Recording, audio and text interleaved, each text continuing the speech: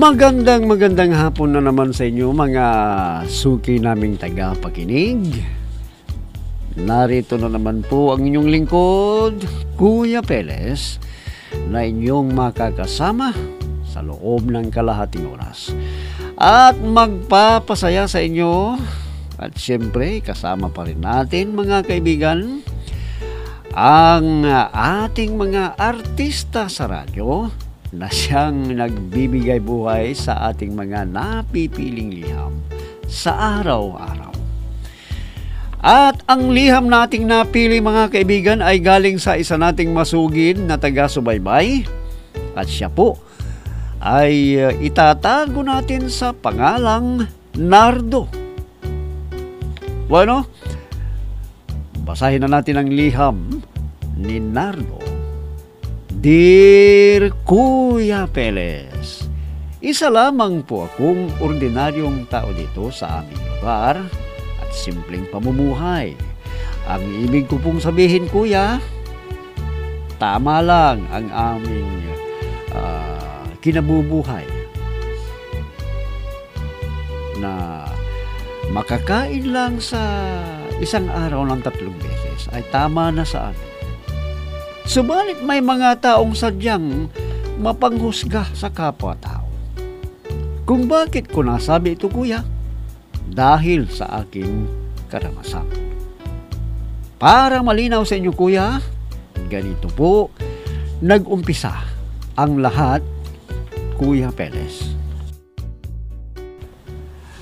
Divina, gusto ko lamang na malaman mo na kung aral ay aral wala mo lang boyfriend-boyfriend. Naintindihan mo? Papa, nasa hustong gulang na rin ako. Gusto mo bang eh, patigilin kita sa iyong pag-aaral, ha? Divina? Ah, ayoko, Papa. Ayun naman pala eh. Kaya sundin mo ang gusto ko. Para wala tayong problema.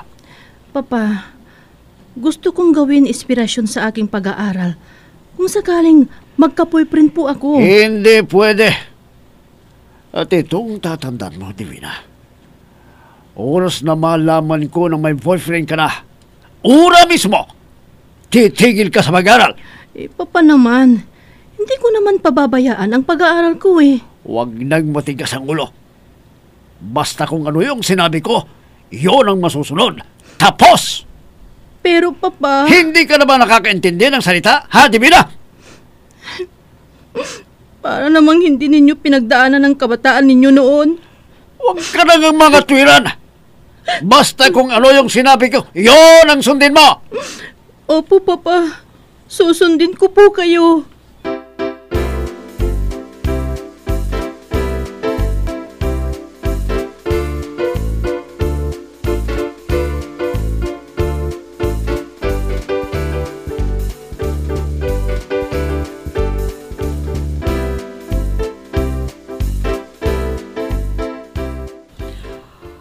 Iha, intindihin mo na lang ang papa mo. Para sa'yo din ang iniisip niya.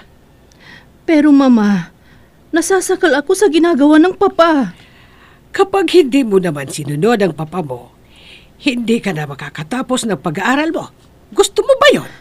Hindi ko naman pababayaan ang pag-aaral ko, mama. At yun ang hindi maintindihan ni papa. Alam mo, Iha, ayaw naming matulad ka sa ate mo noon na isang taon na lang eh, nag-asawa na agad siya. Hindi ko naman gagayain si ate, mama. Bakit ba hindi ninyo ako maintindihan ni papa? Naintindihan kita, anak. Kaya lang, sadyang ayaw ng papa mo ang nangyari. Ang sabihin niyo, mama, talagang mahigpit si papa. Iha, intindihan mo naman ang papa mo. Gusto lamang niyang maging maayos ang maging kinabukasan mo. Mama, ang sabihin niyo, wala silang tiwala sa akin. Iba si ate at iba rin ako.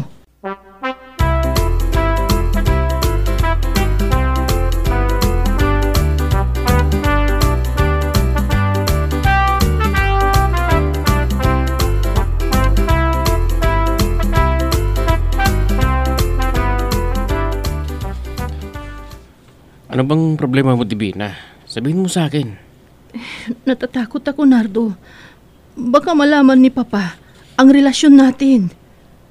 Kaya naman kitang ipaglaban sa papa mo. Pero Nardo, binantan ako ni Papa. Ha? Anong sinabi ng papa mo? Kapag nalaman daw niya na may boyfriend na ako, patitigilan na daw niya ako sa pag-aaral. Isang taon na lang, kagraduate na ako. At ayokong tumigil sa pag-aaral ko, Nardo. Anong gusto mong gawin natin ngayon? Hindi ko alam, Nardo. Hindi ko alam. Ang gawin na lang natin, basta mag-ingat na lang tayo. Na huwag malaman ng papa at mama mo ang relasyon natin. Nardo, hindi ko alam kung tama itong gagawin natin. Natatakot ako. Huwag kang matakot. Akong bahala sa'yo. Anak,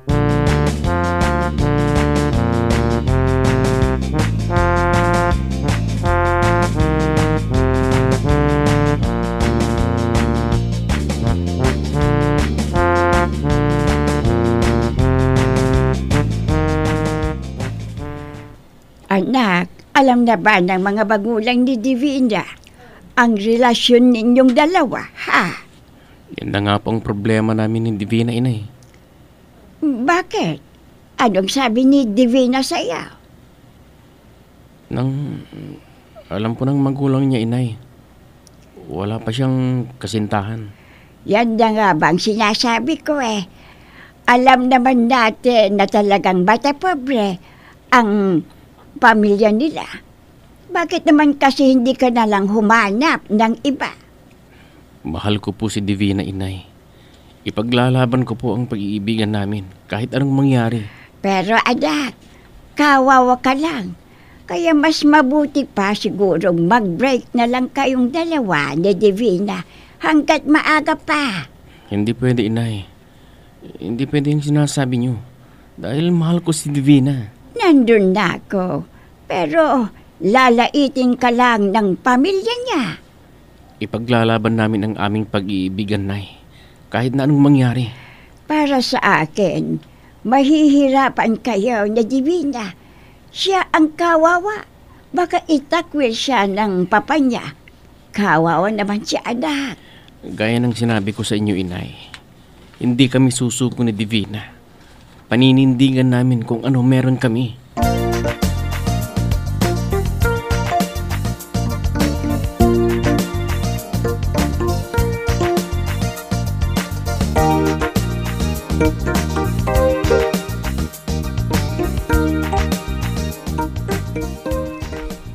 Ano itong nababalitaan ko na may boyfriend ka raw? At ang nardong yon na anak ni Sing, ang mga hampas lupang mag-ina, pa- pa- Papa? hindi ba sinabi ko na sa'yo na bawal mo ng boyfriend-boyfriend na yan? Bakit bang tigas ng ulo mo, ha, Divina? Papa, nagmamahalan po kami ni Nardo. Lintik na pagmamahal yan! Hindi ka mabubuhay yan sa pagmamahal na yan! Papa, parang awan nyo na. Hindi naman maapektuhan ang pag-aaral ko eh. Hindi! Magagaya mo lang ang ate mo. Kaya sa ayaw at sa gusto mo, titigil ka na sa pag-aaral mo!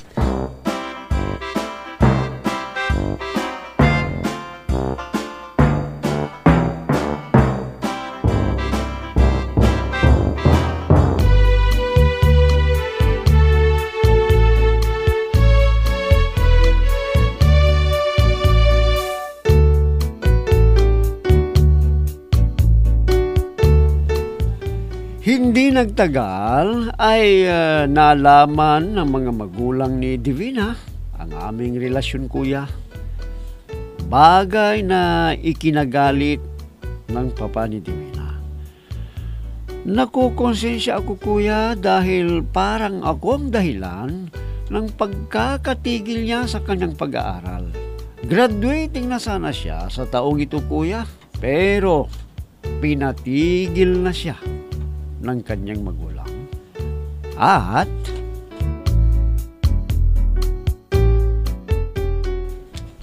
Nardo, ayoko nang umuwi ng bahay. Ano? Huwag, Divina. umuwi ka sa bahay nyo. Baka magbago pang isip ng papa mo. Kilala ko ang Papa Nardo. Kung ano ang desisyon niya, hindi na yun mababago. Natatakot ako sa maaaring gawin ng papa mo sa atin. Bakit? Hindi mo ba ako pwedeng ipaglaban sa papa ko? Hindi mo ba ipaglalaban ang pag-ibigan natin? Hindi naman sa ganun. Kaya lang, iba ang papa mo. May mga kaya siyang gawin na hindi natin alam. Kapag ginawa niya yan, mawawalan sila ng anak. Uh, anong ibig mong sabihin, Divina?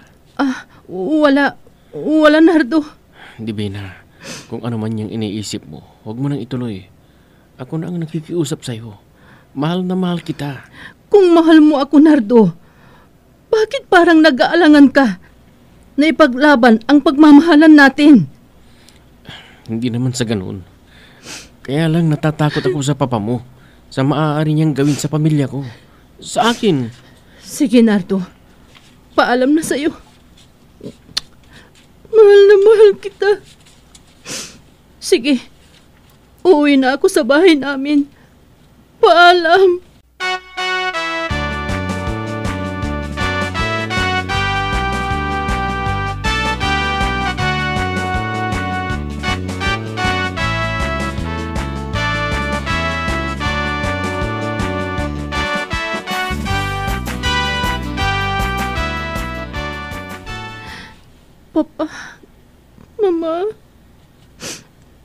Mahal na mahal ko po kayo. Pero, hanggang dito na lang siguro ang pagsasama natin. Sa maikling panahon, ibinigay ninyo ang karangian sa buhay. Salamat sa inyo, Papa, Mama. Patawarin niyo ako sa gagawin kong ito. Diyos ko. Alam ko pong kasalanan itong gagawin ko. Pero, hindi ko na po kaya. Pagod na ako. Sana, Panginoon, ay mapatawad niyo ako sa gagawin kong ito. Mahal ko po kayo, Diyos ko. Sana'y tanggapin niyo ang kaluluwa ko sa inyong kaharian. Patawad, Diyos ko. Patawad po.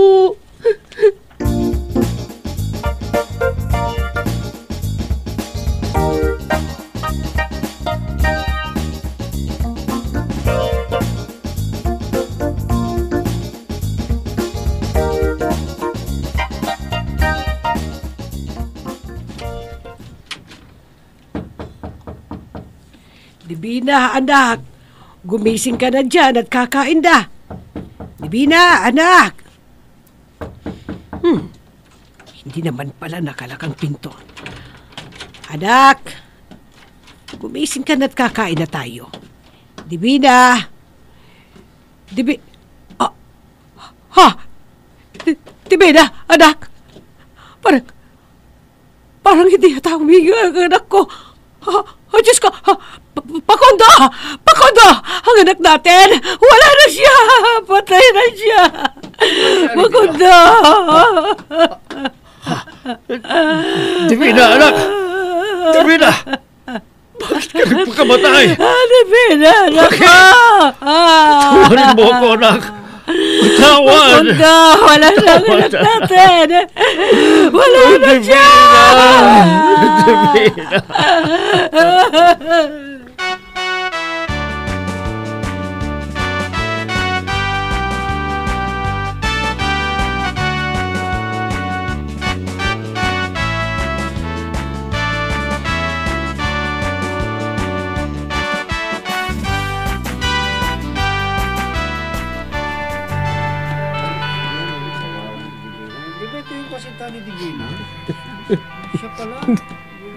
Divina, patawarin mo ako kung, kung pinaginggan lang sana kita.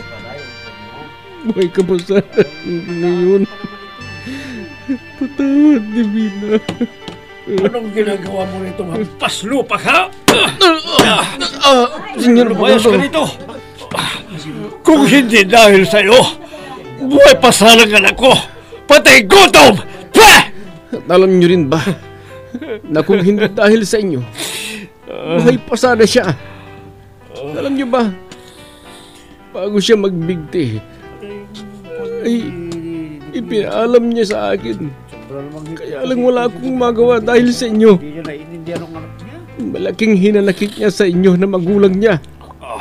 Kaya huwag niyong isisi sa ang pagkamatay niya sa akin. Kayo ang pumatay sa anak ninyo. Kayo! Umalis ka na dito. Bago mamagdilim ang paningin ko. Umalis ka na! Baka ipadampot pa kita sa mga pulis. Umalis ka na!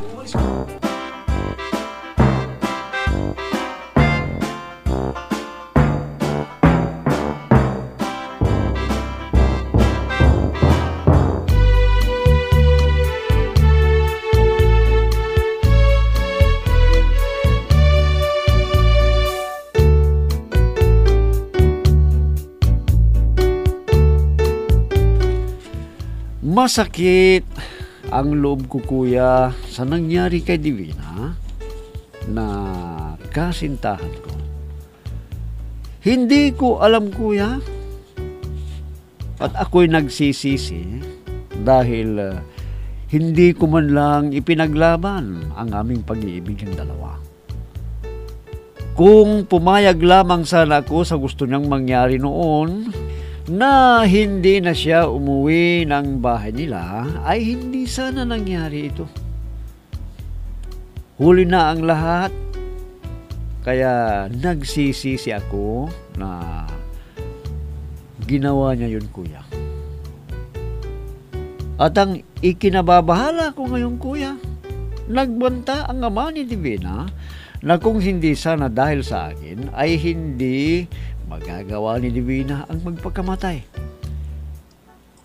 Ipahuhuli daw niya ako sa mga pulis.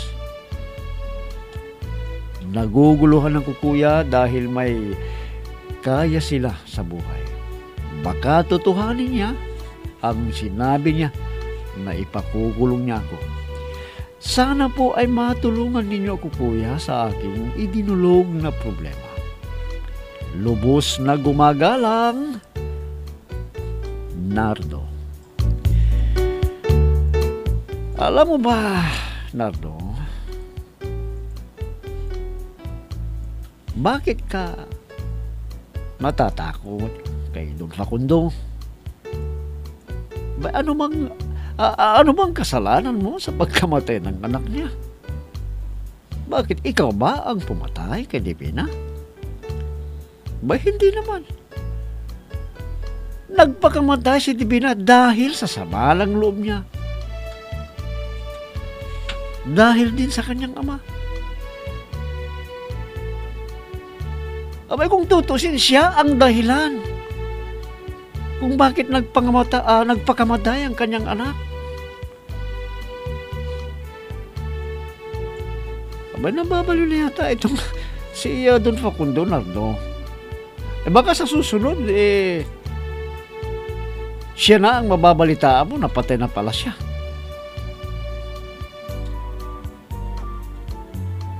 Kaya ba ng konsensya niya na ibintang sa iba ang pagkamatay ng kanyang anak? Ano bang ikinatatakot mo? Eh, ang masasabi ko lang dito sa may huwag ka matakot. Unang-una, wala ka namang kasalanan. Siya dapat ang may kasalanan dito eh. Na kung hindi lang pinagbawalan ang anak niya sa inyong relasyon na dalawa sana, buhay pa ang kanyang anak ngayon. Abay, napakasakit naman ang naging karanasan mo sa pag-ibig natin. Kaya sa ating mga ah, tagapakinig sa programang ito, abay, maging aral at ah, leksyon na itong nangyari kay Nardo at Divina. Hmm, kayo mga magulang dyan natutol sa pag-iibagan ng mga anak ninyo. Abay, mag-isip-isip naman kayo na mabuti para sa inyong mga anak. huwag ninyo silang masyadong higpitan. Ah, tingnan ninyo ang nangyari kay Divina dahil sa hinanakit sa magulang niya. Siya ay nagpakamatay sa isang higlap. Wala na. Huli na ang lahat para sa kanyang mga magulang. Bueno, Nardo, yan lamang ang ah, masasabi ko sa iyo. Kang matakot. Alisin mo sa isip mo ang takot na yan. Unang-una, wala kang kasalanan sa nangyari kay Divina. Naintindihan mo. Bueno mga kaibigan, hanggang bukas na muli sa ganito ring oras sa timpilan, inyong abangan at pakinggan ang programang Peles at your service.